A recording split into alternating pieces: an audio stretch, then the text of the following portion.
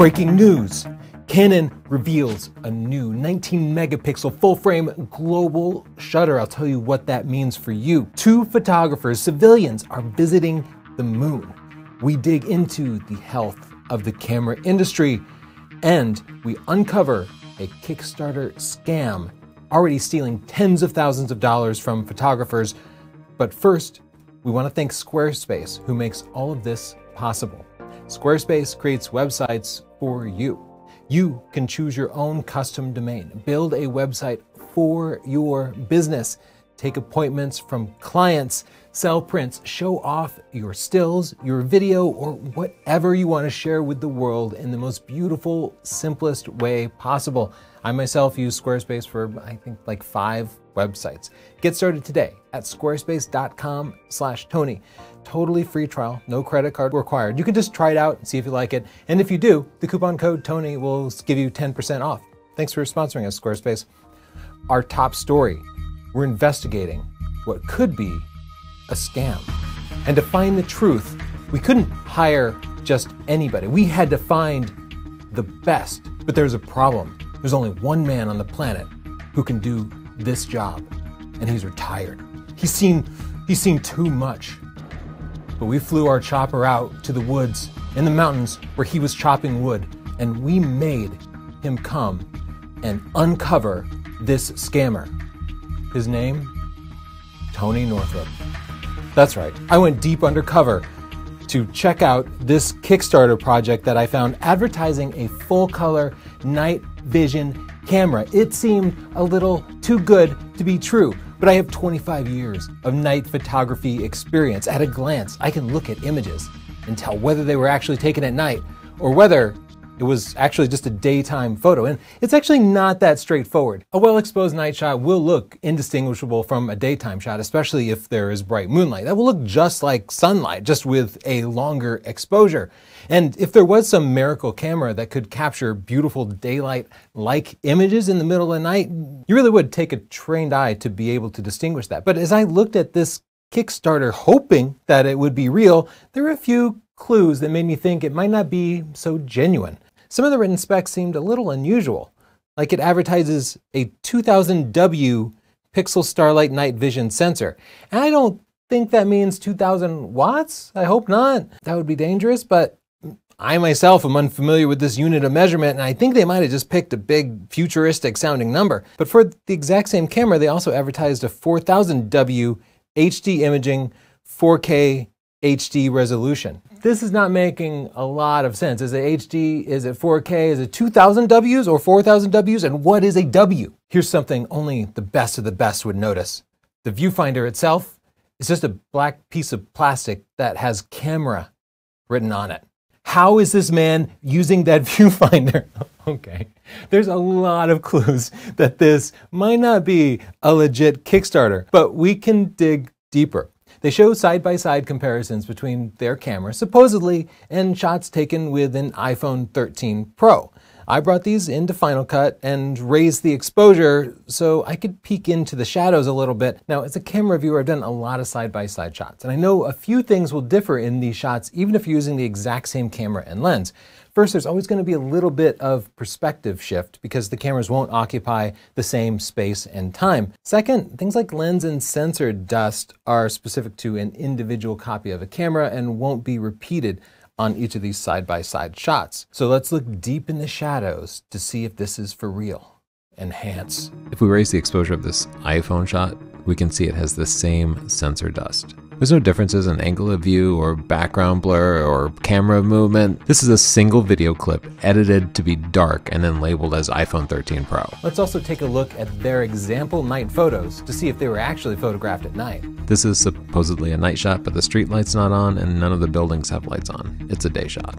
If this were a night shot, we'd see some stars in the sky. Also, the buildings on the shore would have some lights on. There's no dash lights or headlights on this bus. The camera claims to have an infrared transmitter, and this is an infrared shot, but it's not taken with an infrared transmitter because if it were, it would look more like a flashlight. This is taken with an infrared camera during daylight. You might be saying it wasn't worth getting a helicopter to pull Tony Northrup out of retirement so that he could tell us this was a scam. It is extremely obvious, except here's the thing it's not. These cameras are selling on Kickstarter for $193 each. And as of this recording, they have raised over $31,000 for this fake video and a plastic shell of a camera that's not even consistent within a single page. And one of the major photography blogs that I subscribe to advertised this to their viewers without any sense of irony, just as here's an opportunity to get involved in a great Kickstarter. What a load of crap. How do we allow this to happen in our community? How does Kickstarter allow this to happen? Now, there are a lot of legit projects on Kickstarter, but my feeling is those just add legitimacy to the scams. Kickstarter needs to block this crap. They need to stop it. That is $31,000 stolen and continuing to happen. That money needs to go back to the people. So, what should we do about this scam Kickstarter project? Well, I've got two words shut her down. And in other news, SpaceX is sending eight civilians, including two professional photographers, to the moon. At least they say they are. This could be another scam, too. Look, Elon Musk is the head of SpaceX, and we're at a point in history when we are starting to realize that Elon Musk is not especially skilled and often dishonest or at least hypocritical. So it makes me question everything that SpaceX does. But the fact is, SpaceX is a group of people who are not Elon Musk. Elon Musk is not the rocket engineer. He is an investor and maybe he's a good marketer, but there are really good people at SpaceX and they're doing a lot of really good things. And I do believe in SpaceX as a company. With that said, I think there are some caveats about this project. First, when I read the headlines, I thought they were landing on the moon, but they are going near the moon. They are doing a circle around the moon and then coming back to Earth. Still, a really, really big deal. I would be so excited to do this, but I would not get on this particular trip. No chance. I, I'm convinced I will go in space before I die, but not in 2023 when this is supposed to launch. Here's the schedule, but as a former Tesla owner, I know Elon's schedules frequently get pushed back, and this one has already been pushed back. The fact is, the Starship that they were going to use was supposed to do its first launch in May of 2022 and then early December of 2022, and now that's been pushed back into 2023. So the ship these people are supposed to take has not ever done its first suborbital run, and they're not going to do the first run with eight civilians on it, right? In fact, if, if it were me, I'd want them to have maybe 10 runs under their belt before they start packing it full of civilians. But I do think this will eventually happen, and certainly in the next couple of years. Space tourism is becoming a thing. Blue Origin has already put people into the upper parts of the atmosphere, including actually William Shatner. And why not put them a little bit further out? Is it incredibly decadent and wasteful? Yes. Is it burning massive amounts of carbon to do this? Yes, it's silly. It is an extravagant and expensive form of tourism, but sometimes things like this add scale and funding to projects that can be useful in other ways. I just have to hope for the best. I also want to say hi to all the flat earthers out there getting enraged. I believe the moon is real. I believe ships go into space prepare yourself for a barrage of comments. Now for an update on the health of the camera industry. CIPA has released their monthly sales numbers for DSLR and mirrorless cameras, and I think it's good news. First, let's take a look at the number of DSLR and mirrorless cameras, basically all interchangeable lens cameras, since 2007. Now, you can see from 2007 to 2012, the increase in the number of cameras sold was crazy. This was such an exciting time to be part of this industry because every company was just throwing lots and lots of money in it. We were seeing these like massive improvements year over year. Image quality was like literally doubling every year. And then things leveled off. And then our iPhones got really good and people started to realize, oh, they didn't need anything more than their smartphone for the way they were using social media and images, and all those consumer cameras started to really fall off. And now we're down to about like 20% of what camera sales were back in 2012. But what I consider to be really good news is the industry seems to have leveled off for about three years now. Now, my 2022 numbers are projected here, but it only shows about a 5% loss from 2021. This is particularly meaningful to me because this is how I pay the mortgage, right? Like if everybody stops buying cameras and stops studying photography, then I have to go run backups or something I'd rather not be doing. Now, looking at it month over month, we can see in September and October, the sales are better than they were last year, but a lot of this is driven by new cameras being released as well as ebbs and flows of the pandemic and who can travel and who can have weddings and such. And that's why we saw that huge spike back in 2020 when people started to go back to the regular life. But like I said, overall, things seem to be doing well. And I think the state of the camera industry now is probably going to be pretty consistent without any massive ups or downs for at least the next five years or so. Some specific numbers from NikonRumors.com. Year over year, DSLR sales are down by 18%, whereas mirrorless camera sales are up by 27%.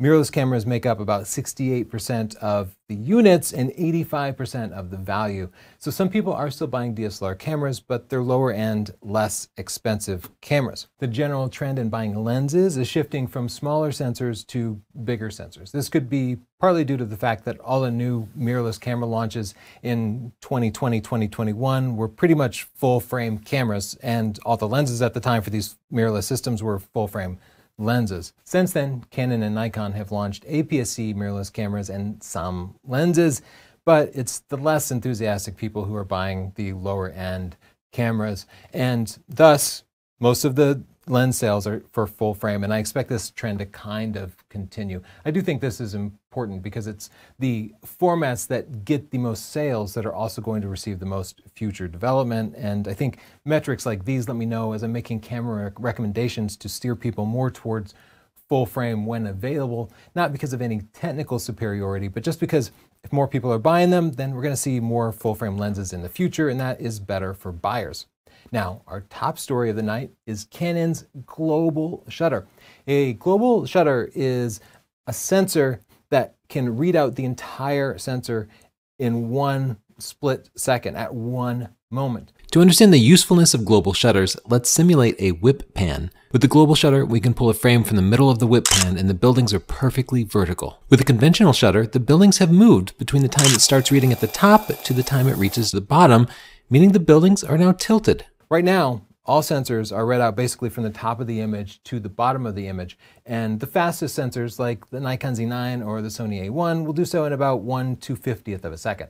That's also a typical speed for a mechanical shutter. That's why the Nikon Z9 was able to get rid of that mechanical shutter because they achieved roughly equal speed.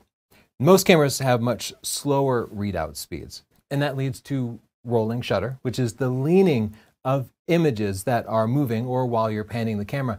And you'll see flickering under most modern lights that actually flash on and off so fast I can't see them, but they can flash on and off in the time that it takes the camera to read out the sensor.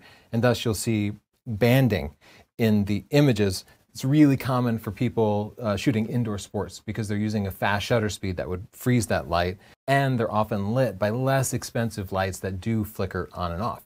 The global shutter fixes all of these things. No more flickering lights, zero rolling shutter. And right now, the rolling shutter that we get on the high-end cameras and the mechanical shutters is enough for most sports stills photographers. So there's not huge demand for it there. There's more demand in high-end video. Now, Red has an expensive sensor like this, but I think you can spend like $30,000. So these can be really expensive, and it's no wonder that Canon wants to make one of these. It is 16 by 9, so it is indeed optimized for video and it's full frame, 19 megapixels. It reads out at up to 58 frames per second, which is a weird number that they couldn't get to 60 frames per second with 12 bits of dynamic range. And I'm guessing the price is in the ballpark of $30,000. The bad news is, is not right now meant for uh, video or still imaging. It is intended for industrial, scientific, security, but this is a step in the right direction. Canon is making progress in making higher resolution global shutter sensors. And it's only a matter of time before they're able to make a 3 by 2 sensor that they can put in the future R1 camera. That will be the ultimate sports video wildlife camera. Now, I don't actually think the first generation R1 will have this. I would say the second or third generation R1 will probably have a true proper global shutter. It's just cool to see us making progress in that direction. In the comments down below, let me know what you think of these stories. And don't forget to check out our sponsor, Squarespace. Squarespace.com slash Tony will set you up with a free trial for a website. But if you decide to sign up, you can use the coupon code Tony to get 10% off, and that will allow you to get your custom domain. I'm northropphotography.com, and that way people can email me there instead of Gmail. And that already makes me look more professional, right? It also makes me seem more professional because I have a proper website instead of just social media. You know, my social media has just the most recent stuff I've done, but not the best examples of my work. You can't organize Instagram by commercial, wedding, portrait you can with a Squarespace website. You can also set up a store to take prints, take appointments from clients, or just about anything else you can imagine doing on the web. And it all works great, whether people are using a computer or a tablet or a smartphone, and you might take that for granted, but uh, I was a web developer for years. And once you start trying to build your own custom website and you get into that, you really appreciate that Squarespace just does it for you. They have brilliant designers who are working hard and they're maintaining your website. And that's why you pay a little bit per month, but it is totally totally worth it. Anyway, squarespace.com slash Tony. Check it out. When you love it, the coupon code Tony will get you 10% off. Don't forget to subscribe. We have reviews of the Canon R6 Mark II coming up, the Fujifilm X-H2S, and some stuff I can't even tell you about yet. Bye.